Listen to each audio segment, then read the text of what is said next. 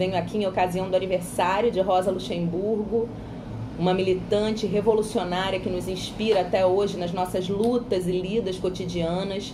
Rosa nos deixa, mas deixa também um jardim de mulheres feministas insurgentes como ela, que seguem seu legado de consciência de classe, de luta dos trabalhadores e de mudança e de transformação social. Que Rosa siga inspirando muitas e tantas outras mulheres e homens na busca por dias melhores.